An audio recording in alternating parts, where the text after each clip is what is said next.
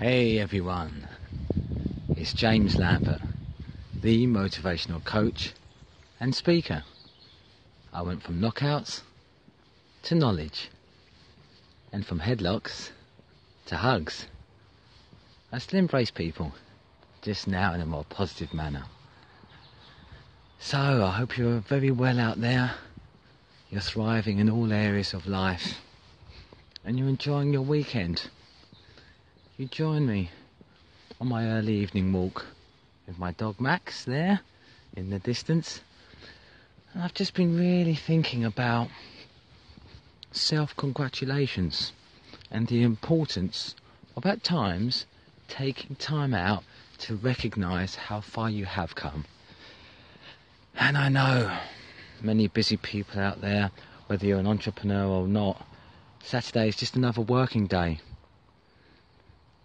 And yet, I believe the weekend can be a time for quiet reflection.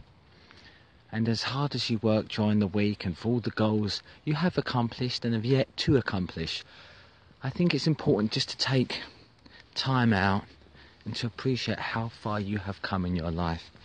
Whether you've battled illness or getting a handle on your anger, actually starting a business and getting that up and running becoming married or just thriving in your relationships, improving your health, whatever it may be, there is a time to recognize that through gentle acceptance of yourself. And just, I think it was a lovely quote by Brian Tracy. And he actually said self congratulations is a sign of maturity.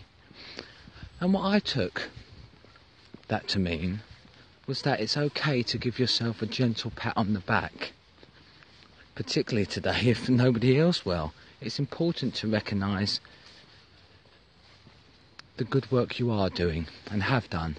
As I say, it doesn't have to be a laborious affair and be long winded, but just a moment to say, you know what, I am doing well, I have done well, and I will continue to work on myself and my goals. And then you can get right back to it, back on the grind from Monday, or indeed later today or Sunday. But whatever it is, I just wanted to leave you with that thought. Wherever you are in the world watching this, recognize, if but for a moment, the distance you have travelled and the work, the self improvement you have put in and done, and the personal development, again, you have done. So I hope this idea has been of use to you again, at its heart, at its essence, that I'm always interested in, it is about self acceptance. Once you've got that in place, everything begins to just flow far more smoothly, and then you truly can go with the flow in life. So, just in closing, as I leave you with this beautiful view, congratulate yourself on how far you have come. As always. You are unstoppable, and I believe in you.